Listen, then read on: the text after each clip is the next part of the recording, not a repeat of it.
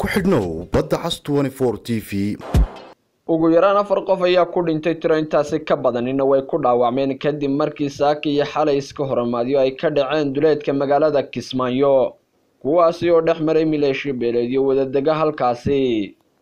Maxamed cabdi madoobe oo guddoomiye u ah guddida culimada oo muddo ku dhex jiray xalinta khilaafaadka beelaha ayaa b b sida u sheegay in colaadda sanad ka hor ay bilaamatay balse xaaladda la dejiyey haatanna ay dib u soo laba kaclaysay wuxuu sidoo kale sheegay inay wadaan dadaallo lagu heshiisiinayo labada beelood si loo joojiyo dagaalka. Ilaa hadda lama oga sababta dhabta ee ka dambeysa dagaalka saaki iyo xalay ka dhacay deegaanka jirele u dhow nguuma oo ah duleedka magaalada kismaayo. Waxayse daba joogaan dagaallo ay hore labada maleeshiyo beelood halkaasi ugu dhex maray dhowrkii sano ee la soo dhaafay.